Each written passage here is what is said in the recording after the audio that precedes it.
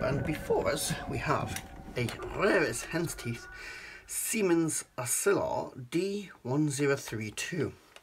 This is from the time period, I don't know exactly what year it is because I can't find out because there's no information on the internet, when they were using analog and digital technology together, sort of a hybrid. And what I was going to do is, this has been in storage for years and I was going to fire it up, get myself familiarised with it again, and perhaps do a quick review for you all, because it does have a printer that goes here on the top. I would show you, but it's uh, got loads of screws sorted out on it over there, so it has a job, you'll see it later. Yeah, so it can print your results out for you. Unfortunately, the pens don't work anymore, so the printer will try to print, but nothing comes out really. Other than that, the scope works usually fine. So, I fired it up, thought I'd make a little quick intro video for the Facebook group, and bang, it emitted a load of grey smoke before it even had chance to boot up the operating system. Uh, so, we took it apart. Oh, I killed it straight away, didn't have time to boot. And I killed it straight away, and we took it apart, and I looked at all the caps and everything, could not find a thing wrong with them. Um, but then I looked at the battery and I'll just bring you over to see the battery. Okay, here we have the interior of the scope. There's the CRT. And there's the battery. Uh, I've taken the case off to look inside and you can see it's a mess. Uh, I'm not 100% sure it is that that's blown and made all the smoke, but as everything else looks clean, I'd say that's the uh, the suspect. So what I'm going to do is remove that. We've actually removed the PSU already because I checked all the caps on that first. Uh, so we're going to remove the board, desolder that, get rid of that. And because it's been leaking, there's likely some contamination of the board underneath. You can see actually, maybe just a little bit of green there. So we will neutralise that with vinegar wash the board off, dry it in the oven for a bit, and then I reassemble and see if it's going to work. Hopefully it does. Hopefully. So, next step, disassemble what is left of this.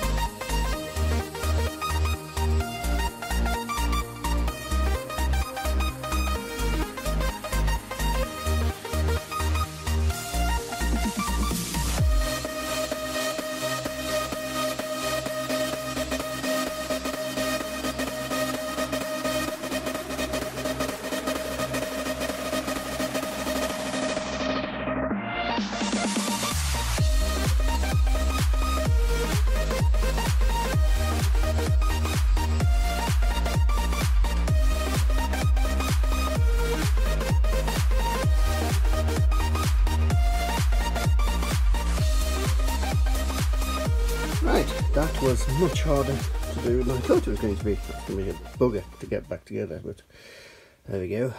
That's for then, and this is for now. So our job is to next job is to desolder those pins. Get this batch out, but it looks that there's no none the acid has actually leaked. Where are we? Can they come and see? There we are. It looks like none of the uh, chemicals in there have actually leaked from the battery. So looks like we're doing good. Maybe just a case of removal. But I'll uh, neutralise it anyway, just in case. Right, let me get that out.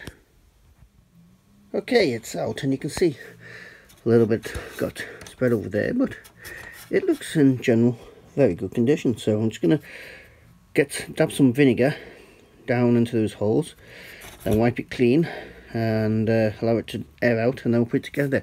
This is the battery itself. I'll just strip this better and we'll have a look at it.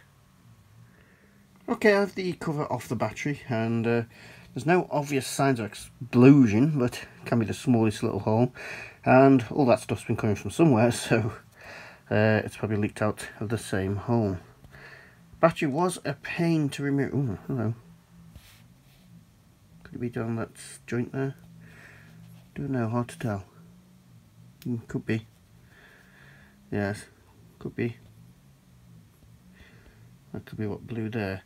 But yeah, this this was hard to get out because usually just desolder it, but on two legs there was no solder showing, but they were holding tight, so I had to heat up the leg at the same time as pulling, so I had to basically walk it out the board. But there we go. So I'm going to now do the vinaigrine. Just a Q-tip dipped in white vinegar. I'll spread it around there, dry it off. Then we'll get this thing rebuilt. Turns out I didn't need to take it all out, but there we go. And uh, see if this works. Be right back.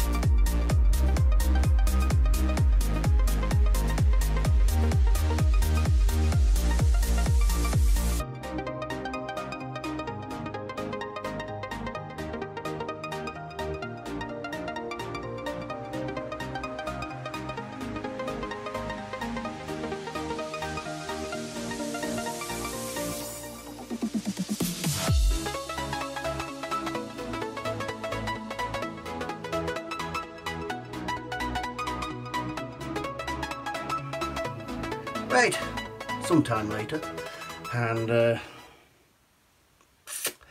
it is plugged in, rebuilt to a certain level where I can test it. I'm not entirely sure the CRT is installed correctly because it kept falling off every time I tried to put the uh, neck thingy on, whatever you call it, because it kept falling off. So I'm going to, it's on a BCD and I'm going to try it, might die, might do nothing. Hang on. The BCD might not be set right. Hang on. Okay. right. Okay, let's try this thing. It's booting. Do I have an image? Oh. Well, you can hear the printer going. And we have an image. Out of tune because uh, you know buttons off and everything. But bloody hell. I honestly thought that was not going to happen that easily as a focus. Whew. I I'm genuinely no idea what I'm doing. Latest menu Ooh, look at that yeah, I am genuinely surprised that's gone that well. And I'll give it a couple of minutes to run, but nothing inside seems to want to blow up at the moment. I'll put it back together. I'm um, actually sorry, a little bit, because I was genuinely quite nervous about that. And wow, it worked for once. And so the floor is covered in foam that was surrounding the uh, CRT. Uh, insulation between the CRT and the shielded neck. A lot of that has come off, so I suggest never touch the, the shield again. Uh, well, genuinely surprised that didn't blow up. Genuinely surprised we even got an image on there. Okay, I shall now calm down. Because the problem is all the pins on the back of that got twisted quite badly. And I wasn't sure that it would all make contact, but mm, yeah. And the net kept falling off every time I tried to install it. It was a pain in the ass. I was actually ready to give up at one point, but... Right, let's get this thing back together. Right.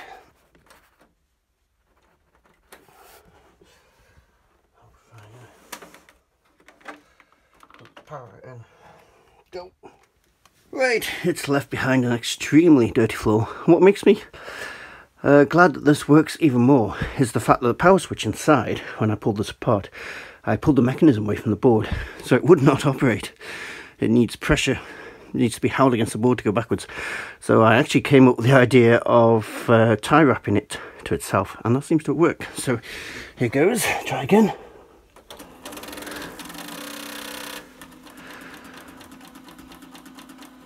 Yeah, see the printer trying to do stuff, but obviously pens don't work and it's out of paper, so.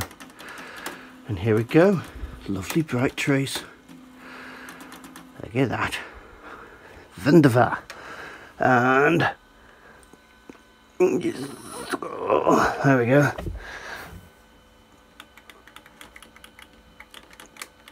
I've actually forgotten how to use this, so there we go. Which is why I was doing uh, the video to try and get remind myself how to use it. So there we go.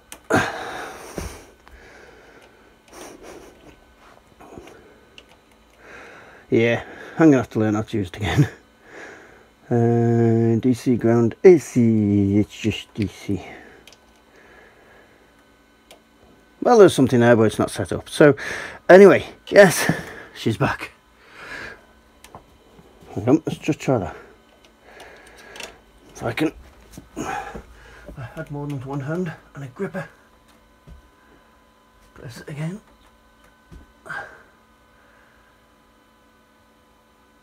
There we go, it's doing something. But anyway, she's back. I will uh, get used to it again and do a full review of this system, which has actually got menus and everything because it's analog digital. And uh, yes, if you like this sort of video, like electronics, like retro gaming, like general messing around, then please subscribe to the channel. Please like the video, as that does help.